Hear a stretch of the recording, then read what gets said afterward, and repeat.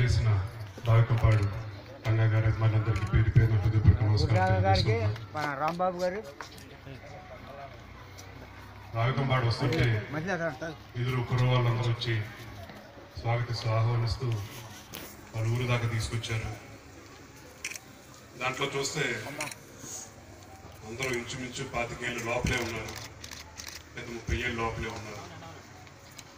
రంగా గారు మరణించి పంతొమ్మిది వందల ఎనభై ఎనిమిది అంటే ఈ డిసెంబర్కి ఇరవై తొమ్మిది సంవత్సరాలు అవుతుంది ఆయన మరణించి. అంటే ఎవరు ఒకరు కూడా వీళ్ళు కుర్రవాళ్ళు కనీసం పుట్టుంటారో లేదో తెలియదు కానీ ఎవరు చూ చూడనైతే మాత్రం చూడనే చూడలేదు చెప్పని కూడా అందరికి తెలుస్తుంది. కానీ అయినా సరే ఒక నాయకుడు అంటే అభిమానం అంటే ఎలా చాటి చెప్పాలని చెప్పని ఆలోచనతో ఇవాళ రావికం పాటలో విగ్రహం ఏర్పాటు చేశారు.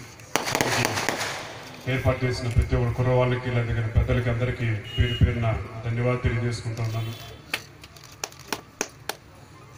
ఎనభై ఎనిమిదిలో మనిషి నాటికి వాటికి కూడా మన నాయకుడిని మన గుండెలో పెట్టి చూసుకుంటున్నాం.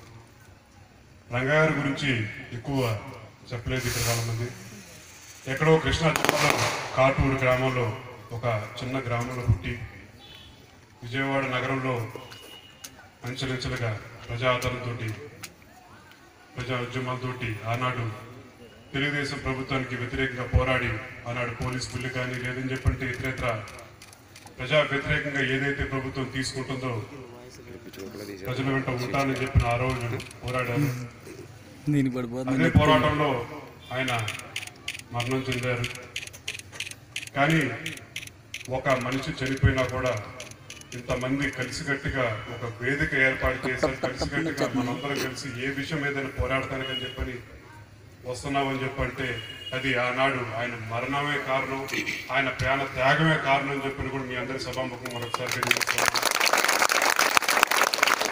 ఎంతమంది మీరు పెద్దలు కానీ లేదంటే కుర్రవాళ్ళు కానీ ఎంతో మంది అభిమానం చూపిస్తున్నారు. ఎవరు చూడలేదు లేదు చూసినా చాలా తక్కువ మంది.